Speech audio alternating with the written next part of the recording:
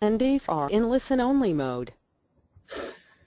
Hey folks, Pat Flynn, Sam Sikdar here. Uh, honored to announce that we're sitting down with Dan John for our, oh boy, what is this, our third or fourth Ask Dan John webinar. These are always a, a ton of fun. Um, everybody always learns a ton of information. Um, you know, so we're always super excited and honored that Dan has taken the time to sit down and do these webinars with us. Uh, we have a ton of questions to get through. We're going to try and go for about an hour. So here's here's the rules before I let Dan introduce uh, and talk about himself a little bit. Um, anybody that is on here live, uh, we really want you to ask questions. So uh, that little chat box you see down there, be sure to drop your questions in as you go.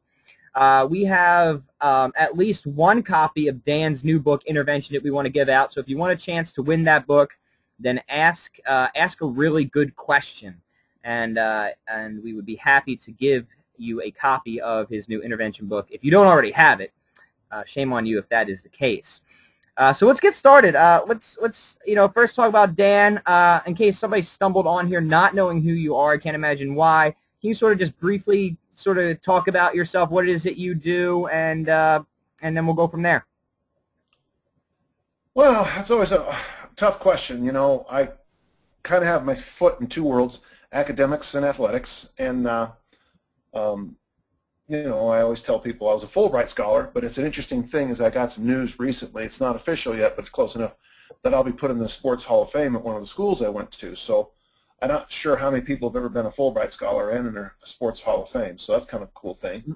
Very cool. Um, grew up uh, grew up in South San Francisco, youngest of six, and uh, oh, I was undersized because I was youngest kid in the class, and uh, discovered weightlifting, and weightlifting and the coaches, my mentors, uh, changed my life. Uh, my entire education only cost ten dollars because they couldn't waive the health fee, and uh, it's a very good education, and all because I could throw stuff far. And uh-huh. so I always feel like uh, I have a great debt to, um, you know, strength, fitness, health, athletics. And so I try real hard to, to really try to pay that back, that, that karmic debt load, if you will, um, before I leave this fine earth. I'm trying to, uh, you know, uh, right now I'm, I'm in the middle of writing another book. Uh, I'm, I, I don't have many weekends free because I do workshops nearly every weekend. This weekend I have free, but I'm going to the uh, state weightlifting meet, which is kind of interesting because it's the See, it's the 34th annual state weightlifting meet. And in the first one, I got best lifter. So I've been trying to go as often as I could. So that's kind of what I do. I'm a volunteer throws coach at a local NAIA school, uh, which is kind of funny because the I get athletes from the Pac-12 schools that are in the neighborhood, and I won't mention which one it is. Uh, and I get a bunch of other throwers who just show up and train with me. So it's kind of nice. I'm, you know, I'm trying to, you know, so volunteer strength coach, uh, volunteer throws coach, uh, writer, college professor, religious studies, dad, going to be a grandpa pretty soon. I wow. got it going on. That, I mean, that's quite the the uh, the life resume, I have to say. And uh, you know, I know that you have left out quite a few considerable details, but I'm sure we'll get to those as we go along here. Um, I'm also very excited to announce that we are having Dan down for Strength Fest 2013. Uh, Dan will be running his full intervention workshop down at our place. So before we begin, Dan, can you just sort of talk to us briefly about what goes on at your intervention workshop, what people could expect when they come down to Strength Fest?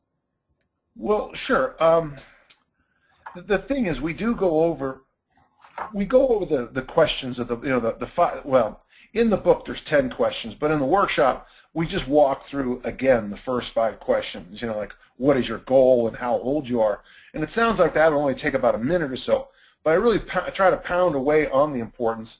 And then uh, in the book, there's five principles, but in the workshop, I, I kind of now move those into three principles. They're the same. I just kind of cut it back for clarity. And then I walk, and then uh, in the in the afternoon session, I would walk you through a, a, a way to program like an elite athlete but at the same time, how, how you would train Edna, your grandmother, you know, so that, you know, kind of at the same time. Uh, so basically, uh, the first part of the day will be a little bit of demonstration. Just, I mean, just just on the side. The afternoon will be a, maybe a workout, but it's I, I don't ever I believe in training sessions, never workouts. You know, and I hate it. I feel bad when people just get beat up at these workshops. You know, punched in the face by the, uh, you know, guys like me, and and you come away just tired, but you don't learn anything. You know what I'm saying? If I work you out three times a day at a workshop, you'll go home tired and sore. But on Monday, you won't be able to. What are you gonna do? Beat up all your clients on Monday with the workout we did on Saturday? It's, that's crazy.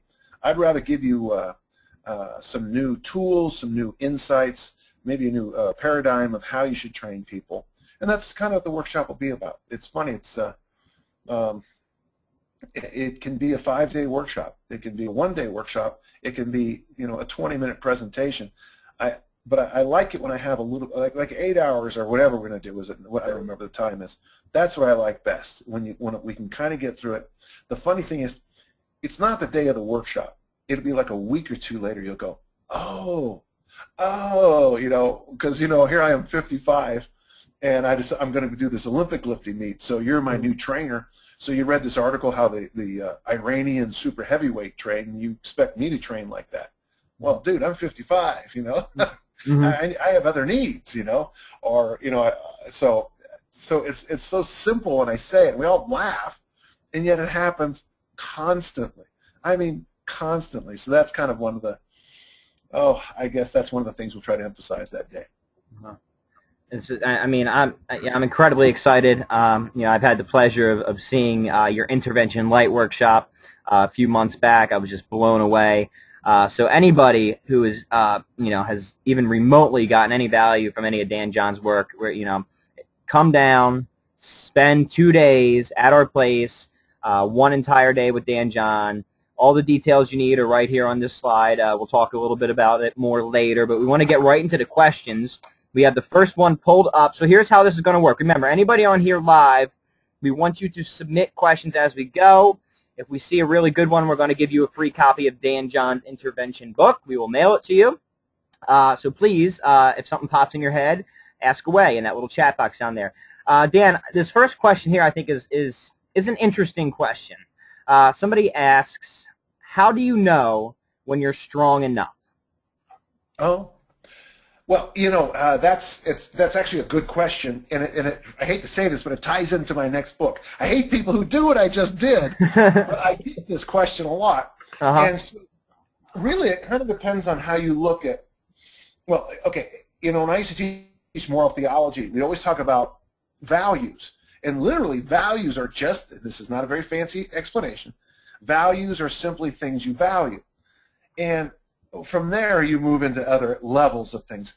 But you know what's funny is that you know the the very basic one is you should listen to an authority. Okay, like me, I can tell you how strong you need to be at any level of, and maybe in throws any level. I can tell you the numbers you need to be at. Mm-hmm. Probably in football, I can tell you the numbers you need to be at.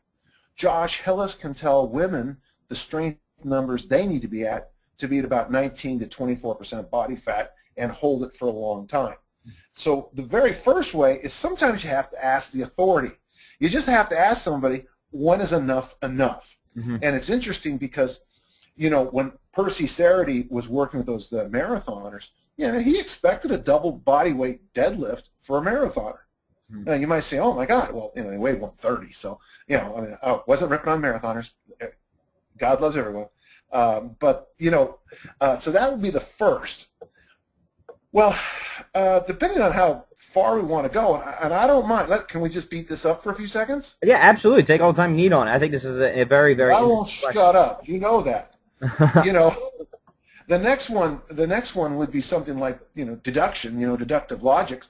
Um, we, you know, we could probably sit around. Uh, sport I don't know, and maybe I could have a basketball coach say, I want my athletes to have this, this, and this. And can you help me in the weight room?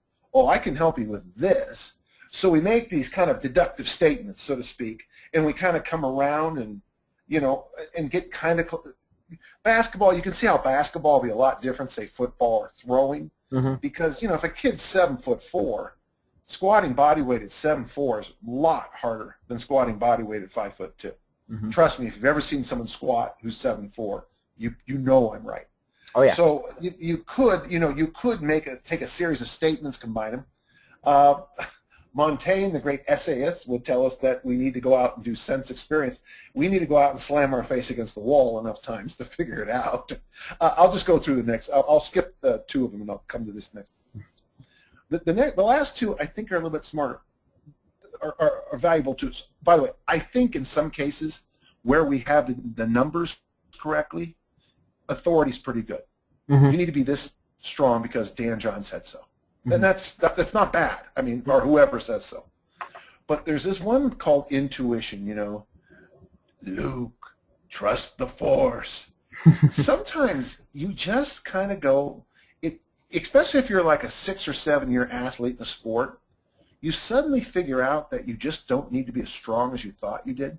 Mhm. Stuart Togher, the great uh, the coach, the hammer throwing coach, kept seeing that the uh, Soviets were numbers for hammer throwers in the weight room kept going up and up and up. Bondarchuk supposedly deadlifted 700. I found out later on that the Soviets loved to inflate numbers big time because the Americans would read it and go back to the weight room instead of throwing. Yep. But Togher one year, kind of, he said, I can't do it, I quit. He quit for six months, say. And then he goes out without any lifting, and he throws about 90% as far, in the high 90s of his lifetime best, with no training, no weightlifting. And he kind of comes to the conclusion that what's the least amount of strength training that I can do? Can you see how his brain worked on this? Mhm. Okay. So he kind of he's kind of trusting the force, if you will. Um, you know, uh, you suddenly get that great insight sometimes that you know I'm overgunned here and I and I need more there. That was my great insight of my career. I can't keep snatching and clean and jerking more and more and more. I, I got to do something else that'll build my strength without ripping me apart. And that's where the loaded carries showed up, to be Mhm. honest with you. Uh, I like intuition if if you have the courage to hang around and do it. Uh, and then the last one is the one I'd, I would love to say is correct. Love to say. The following sentence I would love to say is true. Wouldn't it be great if we had some real science on this? Yeah, yeah. Yeah. Okay. Wou- Wouldn't it be great? Except you just, I mean, yeah, I'm wishing for some real science on this. I mean, wouldn't it be great if they actually studied, you know, pull-ups for women and fat loss? It would be wonderful. You know, okay, we're going to have a group of women. Uh, we're going to train them on the pull-up five days, three days a week, and see if that helps fat loss. Deadlifts and pull-ups. I, I'm just winging it here. Mhm. Oh my gosh! When a woman pull-ups does three pull-ups and and can deadlift 275, all of a sudden she looks pretty good because we Mhm. know that's true. By those two numbers are true, by the way. Josh gives me the uh, both of those numbers, and my own experience gives me the 275.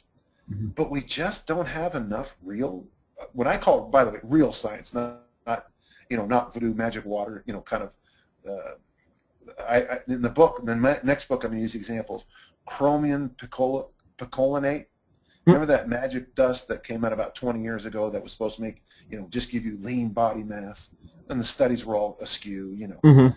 Real science. We, I would love to say to this to this good question, by the way, that I wish the answer was, okay, there's been a, what's your goal? Oh, you want to be a better triple jumper. Okay, you know, the American Federation of Triple Jumpers did this great study of 43,000 triple jumpers, and they found out that when you front squat, you know, 130 kilos, 286 pounds, your front squat, uh, your triple jump goes up to 52 feet. And you, you follow my point? We just don't have Absolutely, yeah. so I guess I guess you have to kind of you have that's why you need to hang around people who've been there, walked this walk before. The ones I want to tell you I think are best for this example, if you can find someone who's walked the walk before.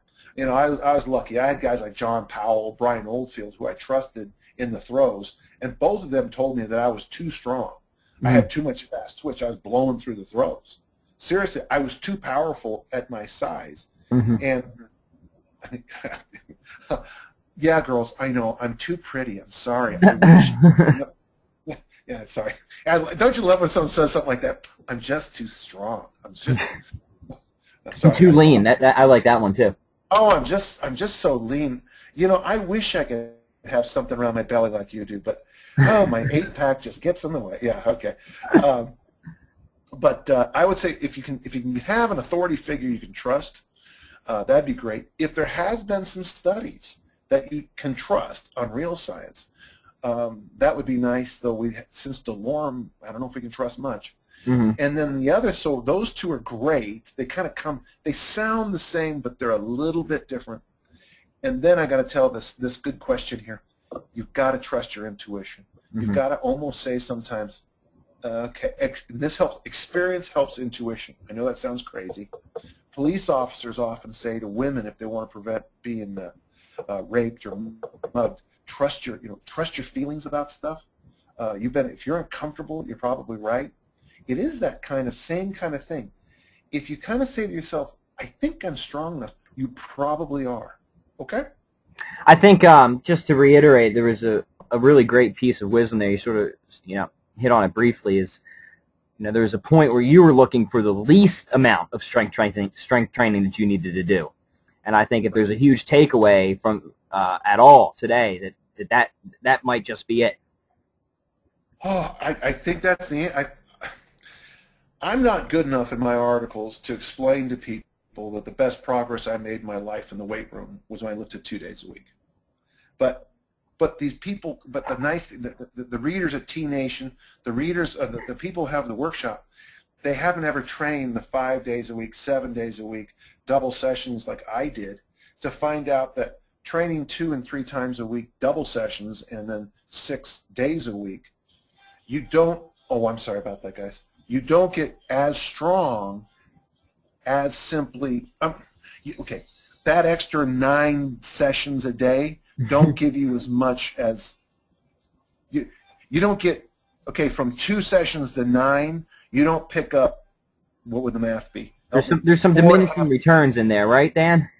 Huge amounts. You don't get four and a half, 450% of that. So, you know, if you're deadlifting 600 pounds, uh, lifting twice a week, your deadlift's not going to go up to 2,000 pounds lifting six times a week.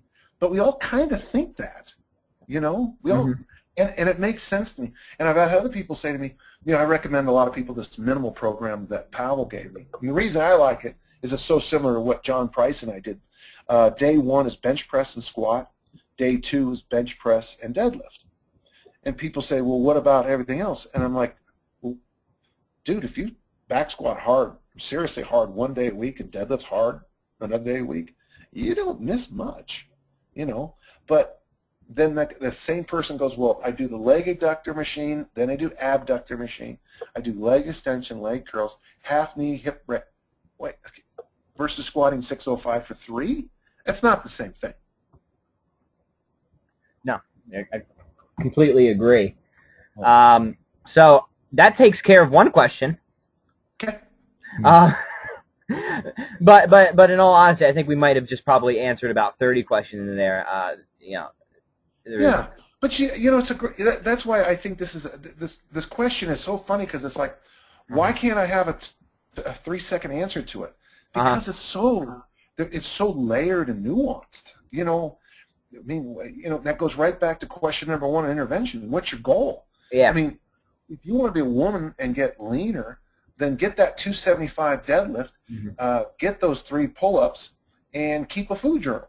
According to Josh, you'll nail it. Oh, but I, I can only do one pull-up. Okay, well, good. You're one-third the way. I can't do a pull-up. I've never been able. Well, do a pull-up. You know, you know, just do it. You know, when I like I tell uh, my throwers, you know, you need to snatch 250. I can only snatch 135. Yeah, I know. Between one, uh, 135 and 250 is your problem in the weight room. Mhm. You know, but that's a thrower versus a woman who wants to be 24% body fat. That's very cool. Um, Same human I- body. yeah, I think I think that was that was an awesome first question. Um, Yeah. Here's another interesting one. Um, I- I'm interested uh, on your insights of this. Um, somebody asked, is there any advantage or detriment to squatting with elevated heels, especially if you can achieve a greater range of motion with the adjusted position? So maybe somebody has some ankle mobility restrictions or, or something Oh. going on. What are your a thoughts on that? Yeah, I mean, I'm lifting an Olympic lifting meet on uh, Saturday, and I've got boots with heels on them. Um, it, it, I mean, if you want to be able to front squat and overhead squat seriously heavy loads, um, I, well, here's what I found: you can get about 80% of your max in like an overhead squat, flat-footed. Same with the snatch. I can snatch barefoot it, it'd be tough, but I could probably sneak up to an 80% lift barefoot. When you put the heels on and you put the boots on, now you got that stable lifting platform, and you're just, you, it's a trick to make you lift more weights. And if you need to get stronger, get those heels on. I mean, I mean, if you need to add load for whatever reason, like for an Olympic lifter, this is going to shock you, but this is they, they, they judge you by who lifts the most weights. so, yeah, I know it kind of throws people off sometimes. Mhm. So even though I might, oh, Dan, you're foregoing the flexibility of the outer crucia of the, oh, shut up. I'm trying to lift as much weight as I can. Mhm. Put the heels on, baby. Mhm. You know, um, I mean, it, it is a good question. I mean, if you're like a, a wrestler or something like that, um, or maybe you're an athlete who, Yeah. I don't know, if, if you needed foot strength for some reason, I, I can see squatting barefoot and giving up that extra, well, I mean, does a surfer really need a 600-pound squat? You Mhm. know, but I, I guess what I'm trying to say is that, again, we, we slide back to, to, to the goal is to keep the goal. The goal here Mhm. um, you know, on the platform, you put on everything you can. I mean, I, I never ta use tape. Olympic lifting meets I tape my thumbs up because it just rips you up, man. Using the, the hook grip just rips you up. You got to Yeah. tape. Uh, what's funny is I can train for months and never tape my thumbs. One Olympic lifting meet, if I don't tape my thumbs, my hands come off. So uh, you're going to ask me, should I tape? Yeah, on the platform you tape. On the platform you wear a belt. But if you're just doing you know, if you're doing front squats with 95 pounds and you need to belt up with heels, come on. I mean, Excellent. Um, we're gonna let's uh, let's switch to a live question now. I'm just gonna dig through and find one here. Uh, Joe, I'm sorry if I pronounce this wrong. Swipen asks, and I think this is a great question for you, Dan. You're sort of a master of the Turkish get-up. He asks, Dan, how much do you feel is appropriate to load with the Turkish get-up? I tend to use it more for movement patterning and mobility with very light loads. So I guess he wants your opinion on the on the get-up. I, you know what? I'll tell you how, how I load my athletes. Zero. We put a half cup of water, uh, use a Dixie cup or a plastic cup, and we put it on the fist. I never, in my home gym or with my athletes, we never load the Turkish get-up. Now, we might load like a little bit, you know, like a, a drill of the Turkish get-up, but for my athletes, we never load it. I, I just can't afford to hurt an athlete doing that Uh-huh. but I get all the benefits. So you make a fist. If you can imagine, make a fist, and it, it's nice thing is I have a cup of water because I don't want my voice to get grouchy. And I'm going to take that half a cup of water and then place it on my fist, uh, on the uh, the knuckles, okay? Uh, not the, the back of the, the hand, not on the palm. And then that will keep, trust me, you'll keep that thing at zenith. If the water tumbles, we laugh and say you got baptized, ha ha ha ha ha but you don't get hurt. And the other thing too is the amount of mental focus it takes to do that is so great that uh, it'll shut up a room full of 15-year-old girls. Mhm. Uh, so anything that'll quiet down a room full of sophomore girls is amazing. It's a great thing. Yeah. yeah, and the nice thing, it's in my book, I- I- Intervention, about that. That is my standard. Um, I know people get all macho on the web. Oh, I did this and that. No one cares. It's not an Olympic sport. Uh, it's a, you know, a, God bless you for being able to do this big kettlebell or dumbbell or barbell. God, that's great. I don't care. but if doing that hurts you, you're too stupid for words. Okay. Yep.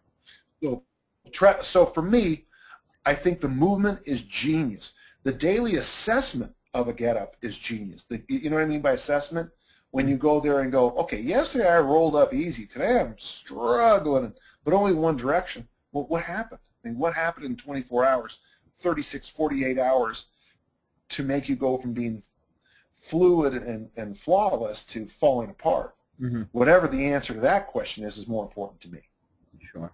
Now, now, Joe, and for anybody else on this webinar, if you've never done this challenge with the half cup of water and a Dixie cup of the get up, uh, I'm going to strongly encourage you to, to do so immediately. It's incredibly humbling, very, very humbling.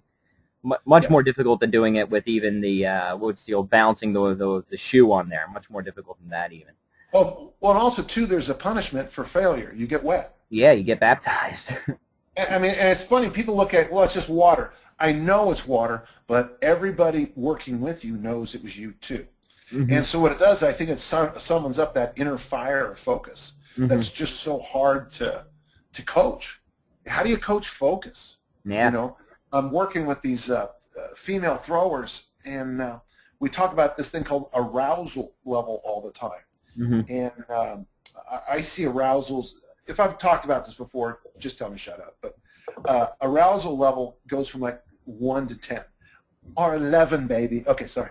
Uh, spinal tap. Uh, but you know, maybe a max deadlift. You want your arousal level at probably nine, right? Mhm. Probably. Your arousal level getting massage, you probably want it one or two, correct? Mhm. But what should your arousal level to be should be for optimum discus throwing? I'm guessing, in my experience, like a four or five. hmm Shot putting be more like a seven. Now, what happens is you go to a track meet and uh, you get all fired up. You take a you know bunch of amphetamines. You drink 16 cups of coffee, and your warm-ups are the greatest throws of your life because warm-ups, baby, ain't the real thing. And when the competition starts, like sand falling out of the bag, you went from nine to one. I teach my athletes to practice going from nine back to four and from one up to four, playing with arousal level.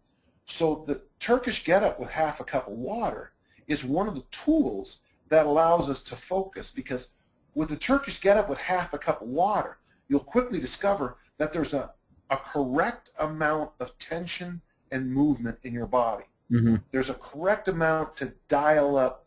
You know, you can't leap through the mo- movements. You follow? hmm So for me, the Turkish get up with half a cup of water is also teaching my discus thrower to be a better discus thrower, not just by the physical movements of rolling and half kneeling, but by the arousal level it teaches you. Interesting, I think that the arousal level you're at doing the Turkish get up with a half a cup of water is very close to how you'd want to throw the hammer and the discus. Interesting. Yeah, yeah. That's great. What an you know, it, it, it's an amazing drill. It really is. So, you know, if anybody hasn't done that before, definitely get on that immediately. Next question as well, sort of, um, is definitely a, a question for you, Dan. Um, you know, you've you've been credited appropriately so with with um, sort of bringing the goblet squat to the forefront. Uh, so somebody asked, how did you come up with the goblet squat? Now, I don't want to make any assumptions here, so why don't you uh, sort of just maybe briefly explain what the goblet squat is first, and then you can sort of, uh, you know, talk about how you came up with the drill. Well, sure. First off, you know, there's there's a drill I've used probably for oh, it's got to be 20, 25 years now. Years I discovered years ago the problem. I, I learned to squat kind of the wrong way at first, and then you learn the right way one day, and you don't know what you did different. Mm-hmm. Well, the reason that what I did is I reverse engineered what I was doing, and the first drill I used was called the doorknob drill. You can also do this by holding your partner's hands, Mhm. and all you do is you grab a doorknob and you kind of get into that water skiing position.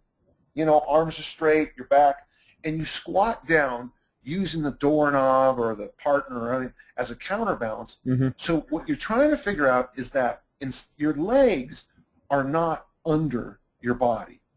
Your body is slung between your legs. Mhm. Okay? The doorknob drill teaches you that the body is slung between the legs. You get down there, and all of a sudden you're down there with no pressure, with no weird. You, you kind of sit down there, and all of a sudden you go, "Oh, this is what it feels like." Oh, okay. And then you stand up, and then you try to drop back down again a few times, reminding yourself that you're dropping between your legs, not on top of your legs. If you squat on top of your legs, that's what we call accordion squatting, and that's when your knees hurt. Mm. Squatting doesn't hurt your knees. What you do hurts your knees. Um, from there, that was great, except when I had 65 sophomores at once. How do you teach 65 boys at once to squat correctly? Mhm. Well, we originally had dumbbells, but later we had kettlebells, and I discovered that we had this. So the drill I first came up with, um, well, was the sumo squat. You know, that's where you take a dumbbell and you hold it between your. I'm holding it uh, vertically. It's straight down. My arms are pointing to the ground. Does that make sense? My feet are in a squat position. I'm holding the weight, and I'm going to just take the weight up and then squat down. Okay. It's sometimes called a sumo deadlift. It's more of a squat. Okay. Miserable failure. It looks like it's going to teach the squat. It, teaches a bunch of nothing. It Mhm. teaches a bad deadlift and a, and a rotten squat. Hate it. So I then invented, being Irish, the potato sack squat. The potato sack squat is where you put your fingers underneath the kettlebell. And this is really important because as a coach in squatting, you have to constantly say down slow, up fast, down slow, up fast. Even the stupid kids figure out not to go down fast with their fingers underneath the weight, okay? Uh-huh. What it was was kind of cool because if you put your fingers, and I've got my fingers interlaced under right now, and the I've got the weight in my hands and kind of slung between my hips. I squat down until my fingers just kiss the ground and then stand back up. Mm-hmm. Uh, there is a coaching clue that's really important right here. Make sure the in, your arms slide up and down the inside of your thighs while you do this. Mhm. Let let that skin sensation teach the body that it's safe and things going fine. Uh, so, uh, quick segue. I believe skin contact is a huge. Most people miss how important it can be. If you have skin-on-skin contact for like something like a, a windmill with a weight overhead, Mhm. you can put your you can let your uh, arm slide inside your thigh. You'll be much, even though you're not. There's no weight on it. You'll feel safer and you'll be in a much more solid position Mhm. than if you have the arm out in space. So by having the hand slide between the thighs, the body doesn't, you don't seem to freak out at all, okay? Well, now we have the potato sack squat, except the only problem is was the bottom position because you couldn't really spend any time down there because the weight was on the kid's fingers. Yeah. So, okay, so we've held the ball, we've held the kettlebell by the handle, we've held it by the ball. Well, with the horns was the last option, and so I had the kids squat down, so they're holding it by the horns, and it looks like you're holding a goblet. Mm-hmm. And at the bottom position, this is the whole key to it, you push your knees out with your elbows, and there's, there it was. Now, to come up with a name for it is funny because, okay, my name is Daniel Arthur David John, but Arthur is my middle name. Ah. And even as a kid, I was just, I mean, my favorite book is The Sword and the Stone, right? Mm-hmm. And uh, Never Let Go comes from The Sword and the Stone. My book, Never Let Go, is, Yep. is, is the first word, uh, is the first law of the Hawks. So now being a, if you, if you like, if you like the uh, Arthurian legends, you need to know about the Holy Grail. I was going to call it the Grail Squat, but I figured no way would anybody ever. Uh, so instead, I said, well, God, and that's why we all know. Anybody who hears the story knows I invented it, except that there's a guy in California who not only claimed to invent the goblet squat, but slosh pipes too, which just cracks me up. Oh, it's I think I've mentioned before.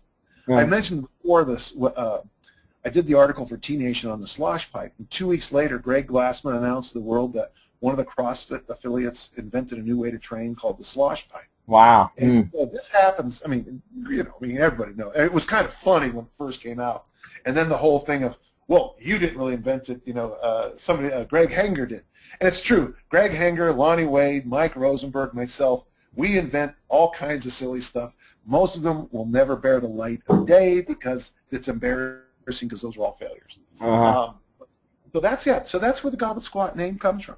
So too uh, hot, holy too cold, and then just right, right? Yeah. Yeah. Yes. And it's funny because the Goblet Squat is kind of just right. You know, Mhm. Little Red Riding Hood. No, is that Little Red Riding Hood? Yeah, yeah, yeah. Yep, yep. That's uh, that's very cool. That's a very cool origin Goldilocks. story. Yeah, Goldilocks. All right, then let's let's uh, uh Goldilocks. Yeah, what are we talking about? Um, all right, then let's go on to the next question. Uh, again, we're gonna we're gonna take another one that was that was sent in before the webinar. But if you're on here live, uh, be sure to get your questions in. We do want to get through as many as possible um, within the hour here. Uh, Dan, this next question is, uh, I believe, another great one. It's it's definitely going to be um, probably answered in a couple of your books. But somebody wants to know, Dan, what is the difference between hypertrophy and armor building? Oh, yeah, that's, yeah, well, hypertrophy is, you know, the increase of lean body mass. Uh, there's lots of ways to do it. Um, Some are much easier than others. I think puberty is probably the easiest way to do it. Yeah. Uh, strongly suggest you have puberty and all your dreams come true. Um, but that's but hypertrophy, hypertrophy is the increase of lean body mass, and uh, it's usually we would call it bodybuilding. Mm-hmm. Armor building is something a little bit different. Armor building is preparing an athlete for collisions, or, or a military guy for collisions.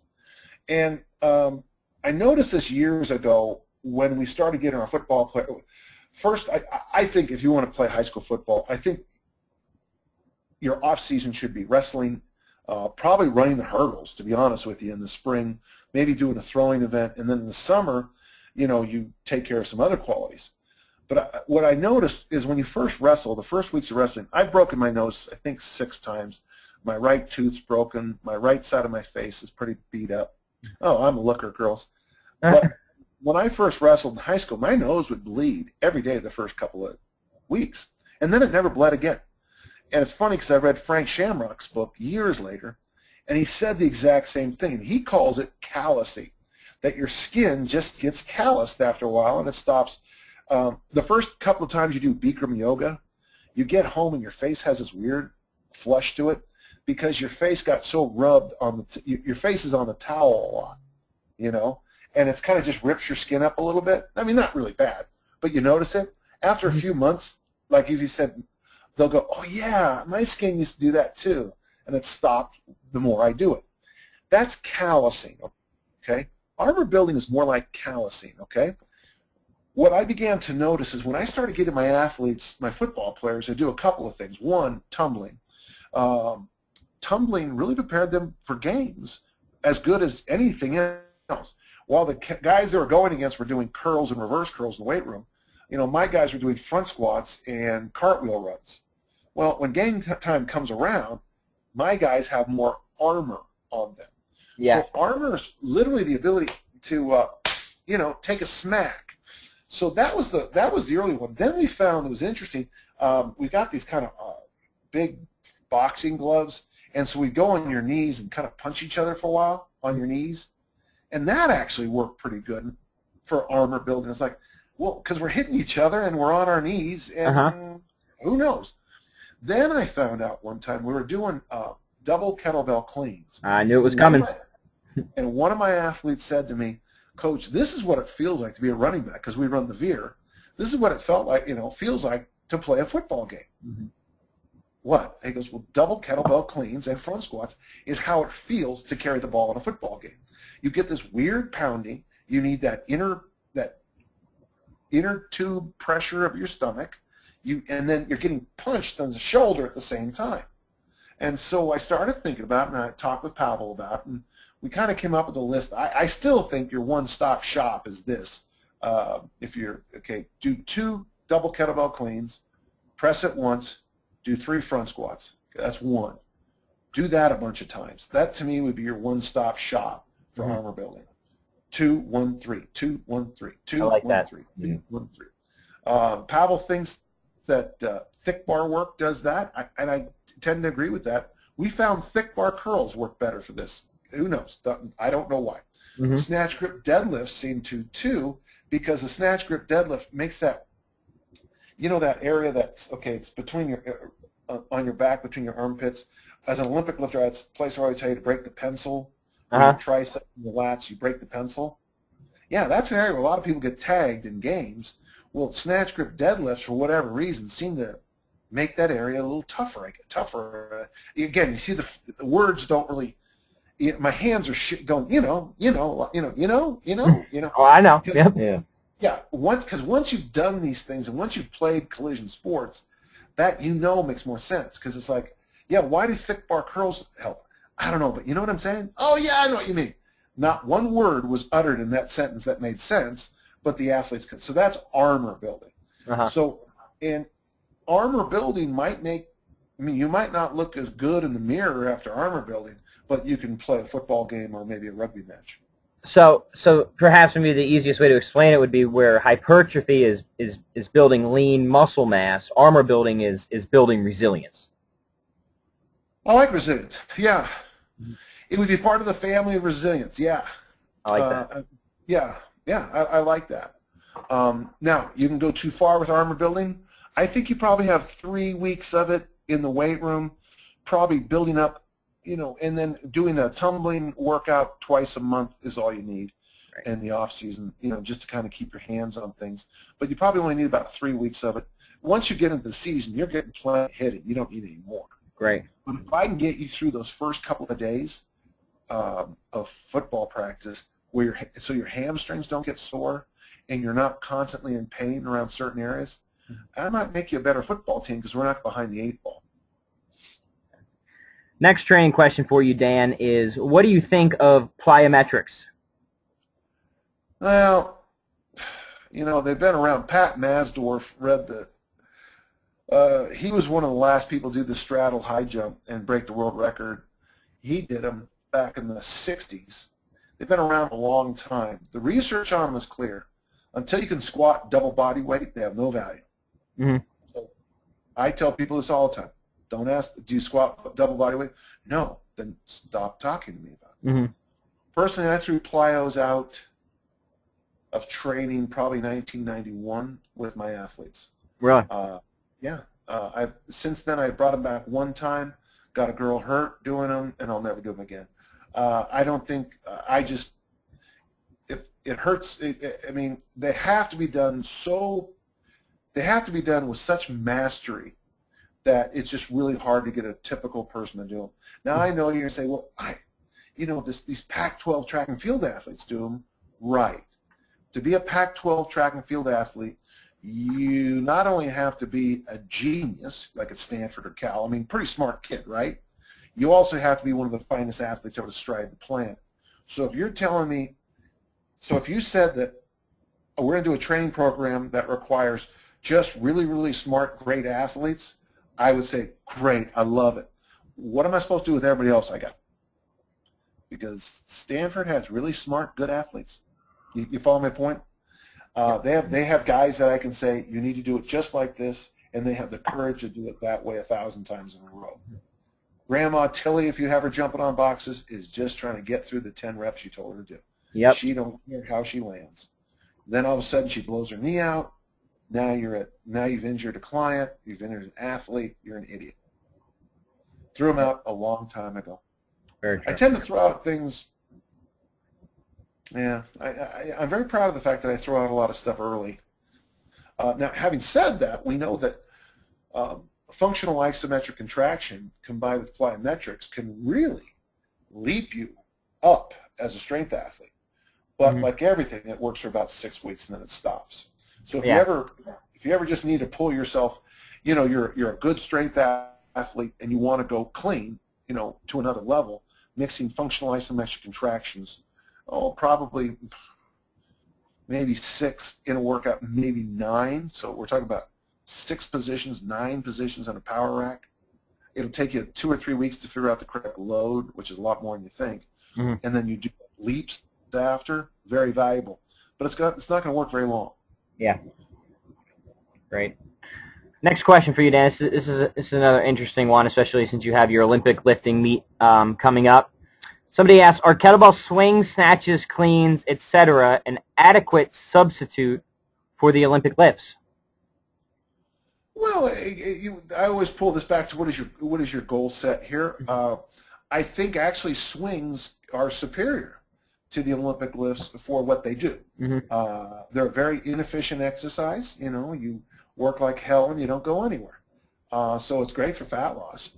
Uh, it teaches the hinge. It really stretches out that hamstring, teaching that bow and arrow.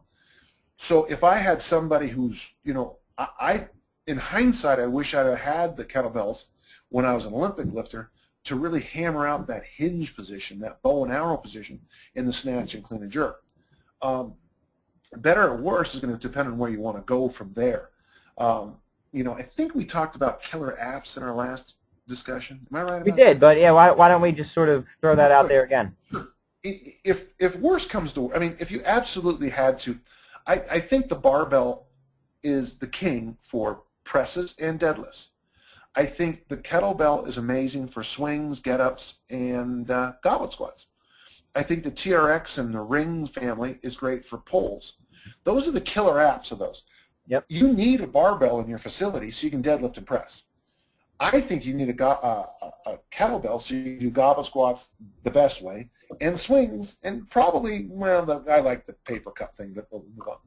I like the TRX and the family of those things, the family of rings, because I think it's such a great way to get people to do all kinds of pulls in a fairly actual kind of isolated, beautiful pulling movement versus those snatching rows I usually see at gyms. You know, the you know, guy sna- you know, guy doing rows, but it, you know he's using so much momentum. You know. Yep. So so those are the killer apps. So could you become one of the greatest throwers or football players ever stride the earth, doing deadlifts and bench press with the barbell, the swing, goblet squat, and the get up with the kettlebell and TRX moves? Yeah, you'd be pretty damn good.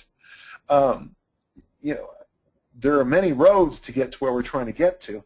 Um, now, having said that, what if we throw in snatches and clean and jerks with the barbell? Well, yeah, maybe that that might really make a leap up too. Mm-hmm. I, it's but now now we're back to the original first question of you know how strong do you need to be and how do you find that out? Yep. Um, yeah, I know. You know, I know personally that when I started snatching and clean and jerking, um, my throws went up because I just understood what it meant to explode. Mm-hmm. So. Uh, it's so we got to be a little careful here. This is one of those questions. Is it really depends on what you want to do. I think if you're a Highland game athlete, I think you gotta. I think you have to use the barbell. I really do because it's really hard to feel that vertical thing of like the caber and the weight over bar any other way besides with the barbell. I think. Uh, having said that, you could prove me wrong tomorrow and, and just do the, the deadlift, bench press, kettlebell thing and prove me completely wrong. The problem is, if we had a time machine, we could start at zero every time and just yeah. keep doing real science experiments. It'd be awesome, you know. Uh, this, I'm working on one right now. I'm using a design from Stewie, uh, who's on the Family Guy. Uh, I'm using his design to make a. Uh, so I'll keep going back in time and changing how I train and see which one works out the best. Excellent.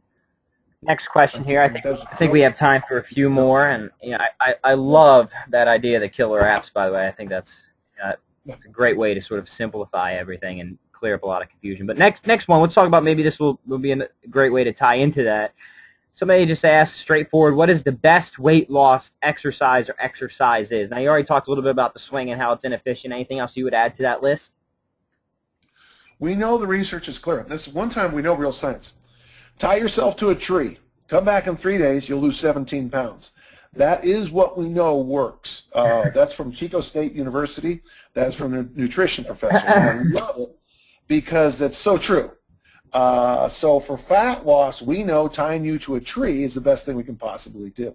Mm-hmm. Um, you know, I, I, I talk about it in my hands-on lectures a lot. Um, you know, I have a, a, a bicycle, my uh, Panama Jack Cruiser weighs 90 pounds. It's got beer holders all over it. Uh, it's real hard for me to go up hills because it's such an inefficient uh, bicycle. It's built for cruising and drinking beer on it. so when I go for a 45 minute to an hour ride, I know I'm more tired than the guy who's wearing the Lycra and the speed bicycle, right? Because mm-hmm. it's so inefficient. Sure. So whenever I look at things for fat loss, you want to find stuff that you're very inefficient if you're lousy at swimming, swimming's probably a great fat loss workout for you. Mm-hmm. Um, if you're lousy at dance, go to Zumba. Um, kettlebell swings seem to be pretty good because you never, even when you get good at them, you still are pretty inefficient. You, you, you follow? Yep. So that's why, as you get better and better, you get uh, you actually you decrease the amount of fat you're going to lose, which is the problem with every study ever done on exercise people adapt and get better, you know, neurologically. You know, yeah. first neurologic, that's the easiest change you can do, the body can do. But so I know I didn't really answer the question as well as I should, but I guess I guess what I want to get across to this the person is that the uh, excellence is detrimental to fat loss. Mastery is a problem for fat loss patients. Yeah. They, they they just get too good. Uh, Covert Bailey in the uh, book Fit or Fat had that famous line about if you want to see efficient tennis players, go find two fat guys playing each other because they have the longest arms in the game. You know, they won't move at all. Uh, watch watch a couch potato watching TV. They are totally efficient about not moving at They've all. They've mastered it. Mastery. master that. So the better and better you get, the fatter and fatter you get. You know, um, so you, you want to find stuff you're not good at. Uh, Um, you know, it's called the fat triathlete. You know, they after after a while, I mean, triathlons will lean you out, lean you out, lean you out. Then you start to go the opposite way. yeah. Uh, you know, you can read about uh, all when triathlons were popular. That was a big issue that came up. They're kind of disappeared now, aren't they? hmm and they're not like they were, you know, in the 80s. But, uh, well, the jogging craze, you know, people go jogging and they got, their shoulders would shrink and they got fatter. They- became too efficient. You know, if you're running a 23 minute 5K, which is not very good, 25 minute 5K, you know, is that, yeah, is that right? Yeah, that's not very good.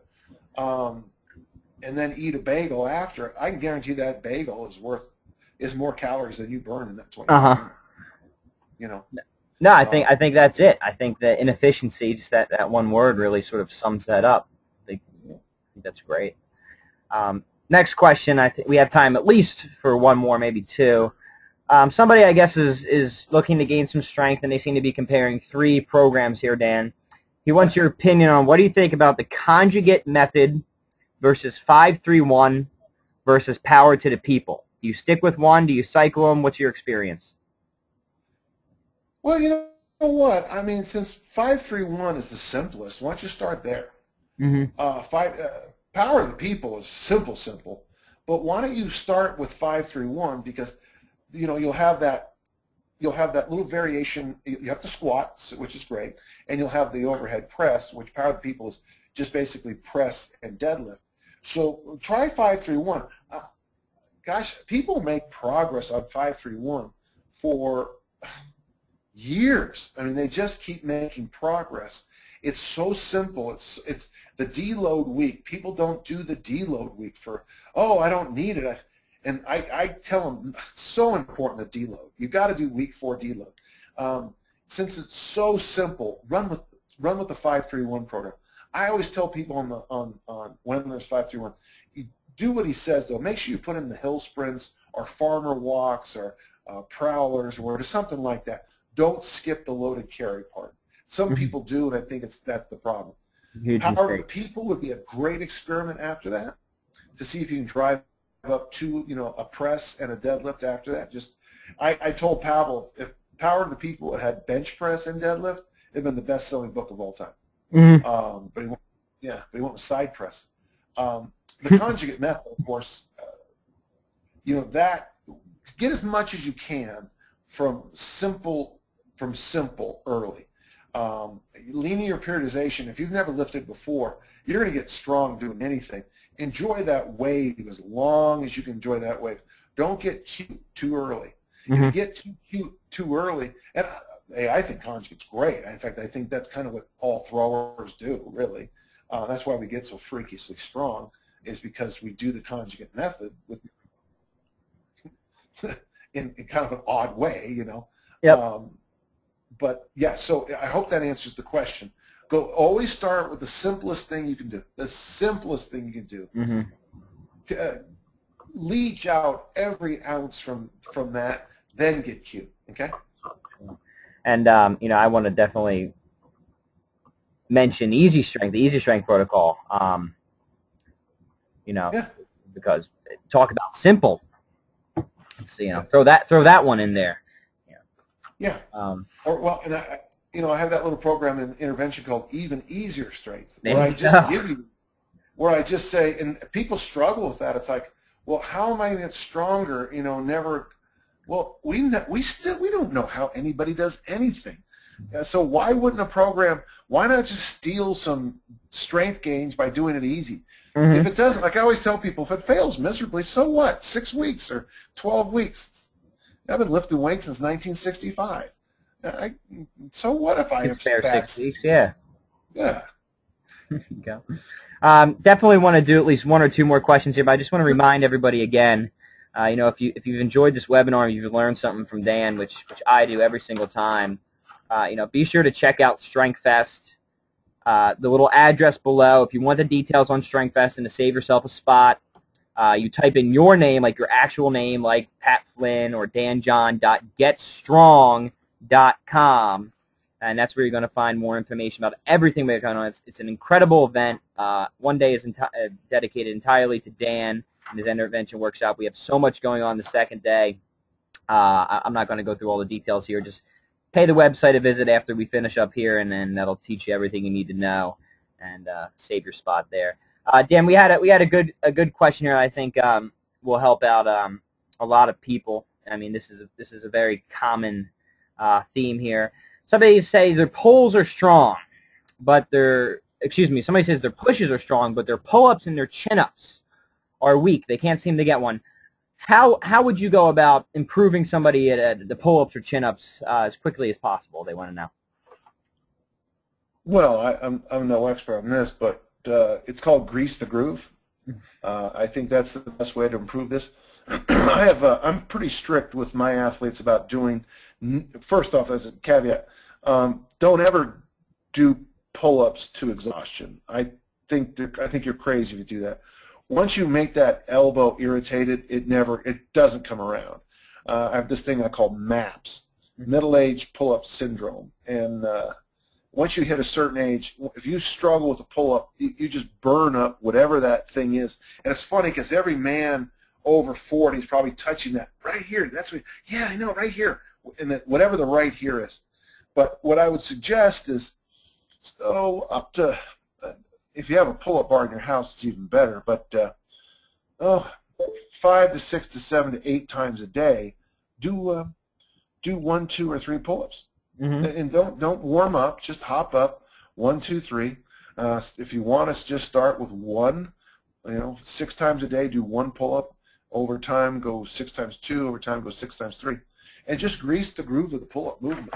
Um, that's usually the problem with most people's pull-ups is that they just uh, I can't remember, uh, but you know, a lot of guys, especially came from doing lat pull-downs, the, the the ability to tense the whole body to make a pull-up easier has been lost because you had that little thing on your legs holding your legs down.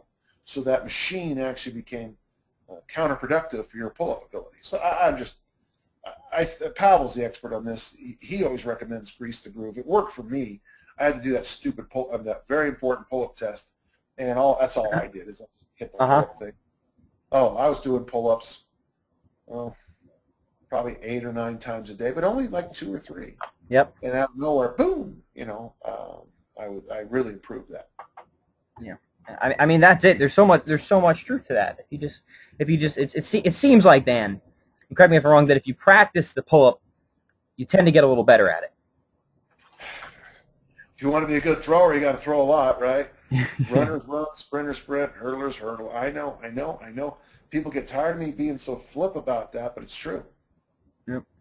Um, you know, I think I think uh, we got time maybe maybe for one more quick question here. Why don't we do that? Uh, I know we didn't get time to do a lot of live questions, but I promised to give away a book, so let's just give it away to Joe. I know we answered your question earlier, Joe. So if you want the intervention book, email me at patflynn at Chronicles of Strength, and we will get your details and, and give you a copy of that book. I wanted to make sure we um, we definitely make that happen for you. Uh, Dan, last question here. Let me just pick one right off the sheet that we got. Uh, why not finish with this one? Dan, if you could do only one exercise, what would it be? oh, I hate this question. Yeah, um, it's a great one, isn't it? First time ever asked. You know, I don't like it. Uh, ask me another one. Uh, one-hand presses. Okay, give me another one. Uh, what is the most important exercise to do as one gets over the age of 40 to prevent injuries? Now, that's a pretty good one. Uh, it's funny because it's going to be, you know, uh, you know, I strongly suggest after 40 that you make sure you've taken care of your butt. So whether it's swings or goblet squats or Bulgarian goat bag swings or whatever it is, you make sure that rear end of yours gets work.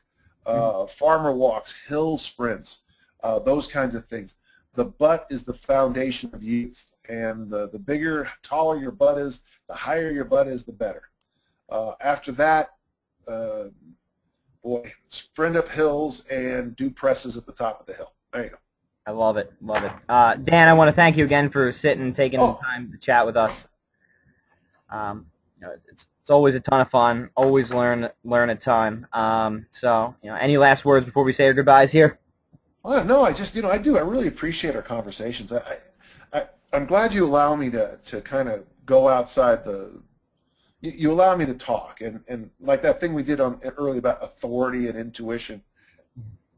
Well, to me, that kind of stuff is fascinating. I mean, that I like I like to be able to go to that depth on something versus, oh well, five sets of three, you know. So I really appreciate you guys your questions.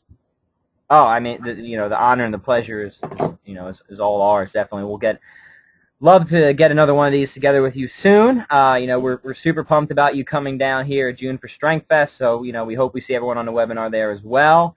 Um, very cool. So Dan, we look forward to seeing uh, you know the results of your Olympic lifting meet. I, I suspect you'll probably be posting something on Facebook. Uh, we'll see. If I do well, sure. If I do poorly, no. Very cool. I'll post them. The All right. fact that yeah, I've been lifting a long time. It should be interesting. Yeah. No, I think I think that's really great. Well, thanks again, Dan. We'll talk soon. Okay. All right, you have a great rest of your day. You too. Bye bye.